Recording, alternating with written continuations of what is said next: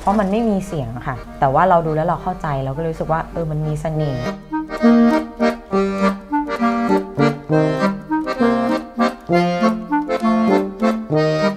ถ้าคนที่ไม่มีความอดทนพอหรือไม่เห็นเป้าหมายทำไปสักพักเขาก็จะเบื่อ